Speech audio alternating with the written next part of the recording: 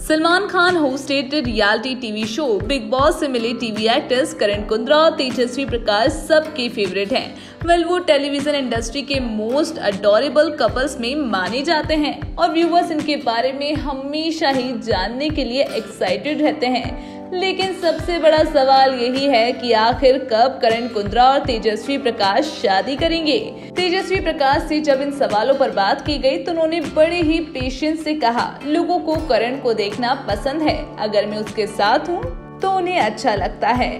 तो मैं सारा क्रेडिट उन्हें ही देना चाहूँगी। जब भी हम साथ में बाहर होते हैं तो हर कोई करण को पहचानता है। कई बार ऐसा होता है, जब लोग उसे कहते हैं कि तुम बिग बॉस में बहुत कमाल के थे। तब मैं सामने बैठकर सोच रही होती हूँ कि शो तो मैंने जीता था। तेजस्वी प्रकाश और करण कुंद्रा की शादी को लेकर अभी तक तमाम तरह की खबरें आ चुकी हैं। लेकिन अगर ताज़ा अपडेट की माने तो फ़िलहाल शादी का प्लान दूर दूर तक नहीं है। तेजस्वी ने बताया कि हम दोनों अभी काम कर रहे हैं। हम शादी कर रहे हैं या नहीं, ये बात मैं पूरी तरह से करण पर छोड़ देती हूँ और कहती हूँ कि प्लीज़ इस बारे में करण से ही बात किया करो। तेजस्वी प्रकाश ने कहा कि मुझे इस बारे में कुछ भी नहीं पता।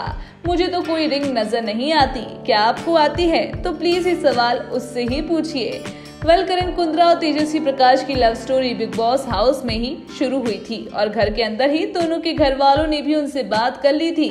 दोनों की शादी लगभग तय मानी जा रही है, लेकिन कब दोनों एक दूसरे के साथ फेरे लेंगे, ये सवाल अभी तक बना हुआ है।